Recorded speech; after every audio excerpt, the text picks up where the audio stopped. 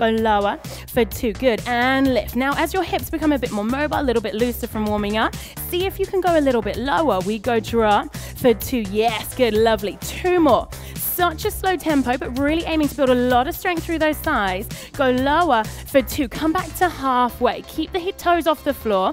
Go back to your little pulses. Go drop and drop. Good. Drop and drop. So we're still back in that pulsing. And try and find that moment of stillness. We drop, hold, drop, hold.